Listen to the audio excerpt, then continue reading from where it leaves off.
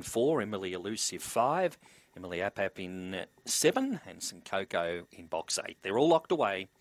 400 metres the journey. They're set for a start. Ready. Off they go.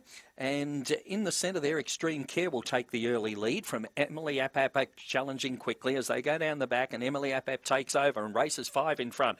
Emily Elusive goes to second, followed by Extreme Care. Last pair of Bungaloo, Danny and St Coco off the back though, and Emily Appap is well clear, and Emily Appap up the straight in no danger, scores by six. Emily Elusive got, or rather, Bungaloo Danny flew home for second, just in front of Emily Elusive. I feel, and then in behind them came St Coco and Extreme Care back at the rear. Wait our placings. 23.20 of the uh, time there. 10.75 the sectional.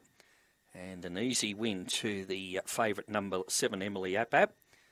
It is close for second. At first, I thought the uh, Emily Elusive might have hung on. No, one's got it on the line. Bungaloo Danny ahead of Emily Elusive for the minors, and uh, fourth in to come. 23 and 18 was the race time recorded. It's 7, 1, 5 and 8.